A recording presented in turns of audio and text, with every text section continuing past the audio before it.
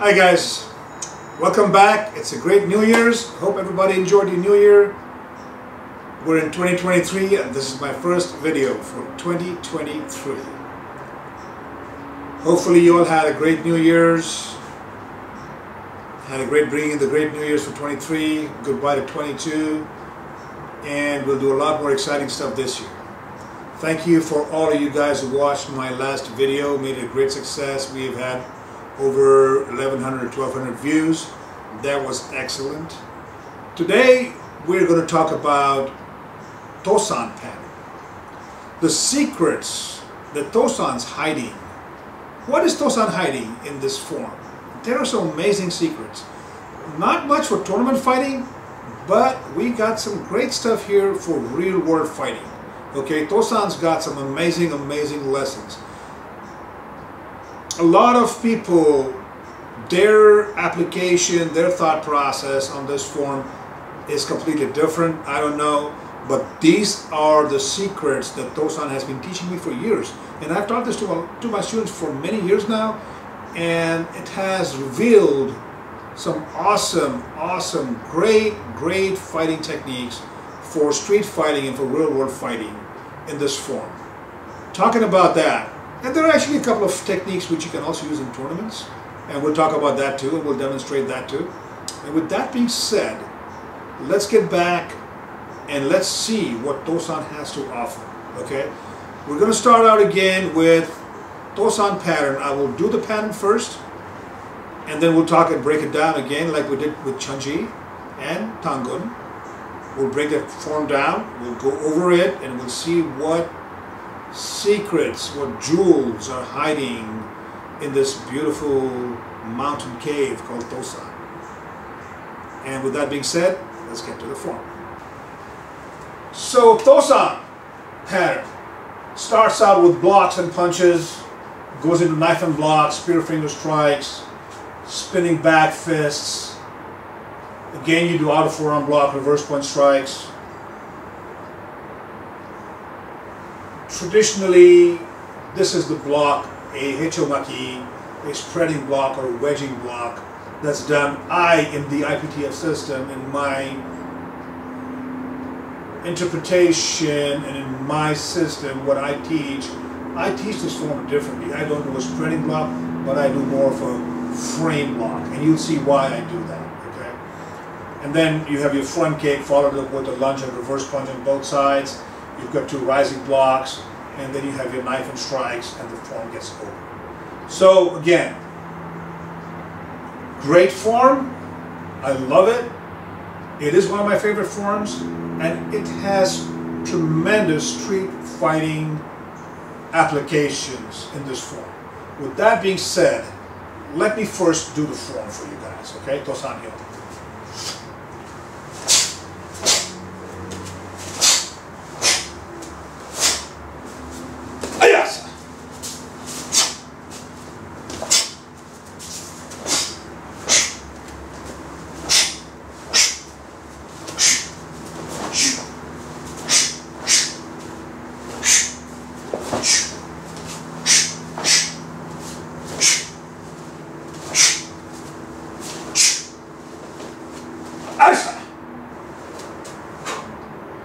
And that's your Tosan pattern. What do we start out with? Outer forearm reverse punch. Great, great, great fighting technique. I have used this block so many times in a street fight, especially with guys who come swinging or they bring a weapon, a clubbed weapon, and try to attack you.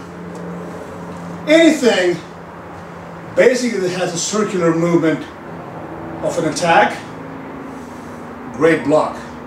And believe it, it's not just a block. Remember, it's a strike too. Uh, let me have Jason here for a second. Sir. So, come on, Jason. So, say we're in altercation and Jason throws a swinging punch at me, a haymaker. What a great way to stop. And at the same time, with this outer forearm block, I'm actually going to do some damage to his hand as well. Okay? So, it's not just to block, but I'm also actually taking care by hitting his hand so hard that's going to actually injure his forearm with this block. Okay, so one more time when Jason attacks me, I'm going to stop him from here. What do I have next? The punch coming in. Great, great technique. Right there. Another way you could do with this same application is as soon as he strikes you, boom, both of them come at the same time. And I get him right at the chin, jaw area, if I have to, in the body, wherever I have to. It doesn't matter. As soon as he does that, again, if somebody's grabbing you from here, there you go. That's my outer forearm block. So, come over here for a second, Jason, so they can see properly. So, if somebody's grabbing me from here and tries to throw a punch at me, again, I got this block. Again, the same block turns into a strike where I strike him in his pressure point area. This is a great area to strike and it can put a horse or a bear down. I mean, exaggeration, bear, but you never know. I never fought a bear. But it can put a bull down. It can put somebody like a bull kind of man, like a strong man. You can pull him down, okay? Because this is your brachial plexus origin, pressure point. And imagine you getting hammered over here with that. It's going to send shocks and tremors in your body, okay? So great way to stop even somebody who's grabbing your shirt, okay? So there you go. Same thing with the knife and guarding block in Tosan pattern. So there you have your knife and guarding block, same thing. This basically is the application in Tangun Tosan that you're doing your knife and guarding block. Somebody grabs your shirt, boom! And you're actually striking them with that block right there, and you're jamming his hand right here. Then from here, you can actually even go down in wrist locks or whatever you have you know, if you want, if you like doing things of that sort, and put in a wrist lock and get him on the ground, right? Arm bars and stuff like that. Okay? So those are your first great two applications. So Jason swings at me from there, boom! He walks into that. He walks in. And I'm not getting, I'm also moving in. I'm not moving back. So he moves in and I move in and wham! And he walks into something really devastating, okay? And that is your first Great move for a street fight. Bahoosa! Right from there, blah, blah. Or bang! Same time, right? You have to go boom, boom. It'll be like boom, more dynamic. And I'm going to actually hurt his hand when I do that in a real fight, okay? Now, supposing he comes with a clubbed weapon as well. It doesn't matter. Same thing. He's going to strike him. It's going to work the same way. Same way, I've taken guys down in real street fights with, and they've had clubs and sticks and stuff like that, and I've knocked people out with that, okay? I've taken them out. So, same thing.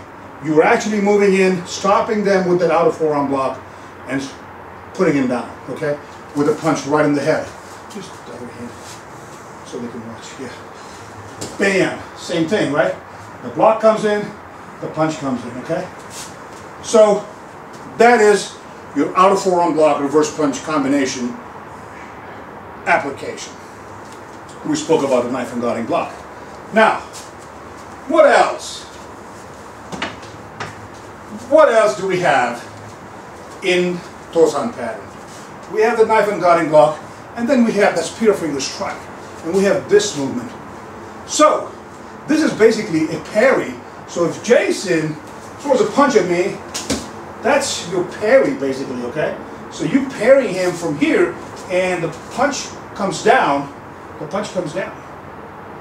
And you actually push him downward. It's, it's, it's a downward pushing block. After that, yeah, you can, I mean, put the spear finger right in his throat. And so right from here, these are, again, very sensitive points where you can put your finger in and actually hurt somebody pretty bad. Feel that, Jason Yes, sir. Okay? And a sharp jab. Sorry. And a sharp jab. Okay? Now, think of this combination that you have, okay? So if I'm if I'm here and Jason wants to throw combination punches at me, like a left or right or a right left, whatever he's standing in, if he's got a lead leg forward or that leg forward, if you want to change the leg or whatever, and then or switch whatever you for the camera. And then throw a punch with that hand, bam, and throws a punch with the other hand. What do I have here? I got I got two blocks. So this is your knife and block, and there you go. But here you you can do this very swiftly. Boom, boom, right?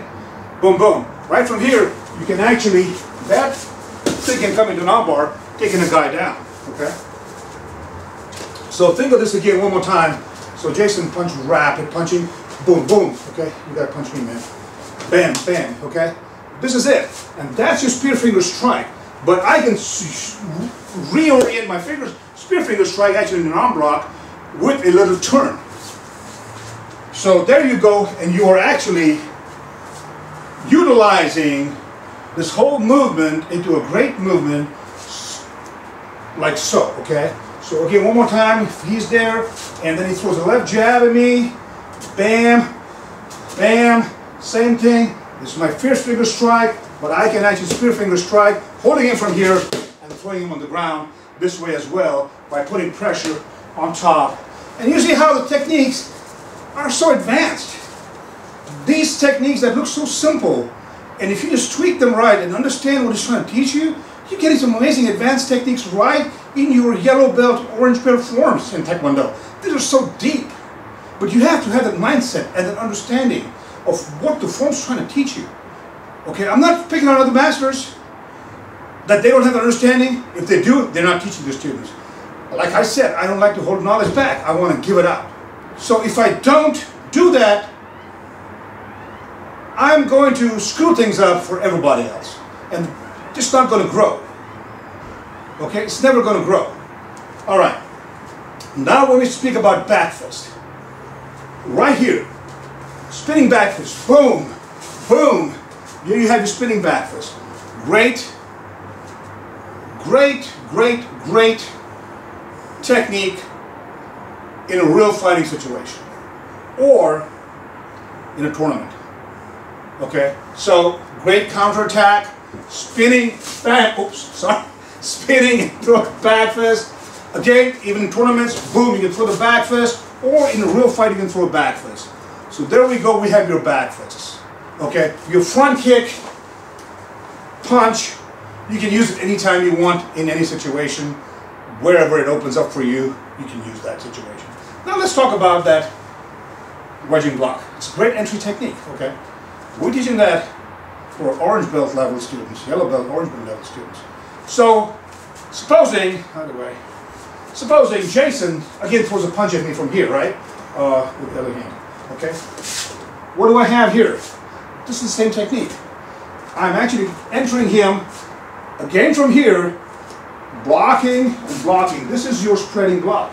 This is your frame block. Right from here, what can I not do? Start throwing elbows if I have to. Start throwing knees if I have to in a street fight. Does that make sense?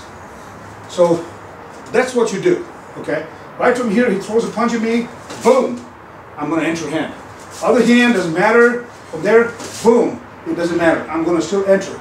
Enter, throw groin shots if I have to. Go to guillotine. I mean, there's tons of stuff that you can do once you're in there. You're already in his space, okay? Also, this works wonders even as if you tweak it a little differently, and if somebody's trying to shoot and take your legs on the ground, so it's the same block, okay? It's the same block. You can actually throw your body back instead of moving forward, and throw your hands forward and stop it. So Jason's gonna shoot me real good, and then I got him on the ground from here, I can stop him and do whatever I have to, okay? So, that being said, these are all the lessons that are being taught in this humble form, Tosan. It's so basic, but you have to understand what the form's trying to teach you. Get that understanding. Again, if you guys really like my video, please share it, forward it to people. If you haven't subscribed, please subscribe to my channel. Tell your friends to subscribe to my channel. And one more time, wish you guys all a happy New Year's. It's good to see you all this year again. And we'll make more videos this year and spread the knowledge. Thank you very much. Stay safe.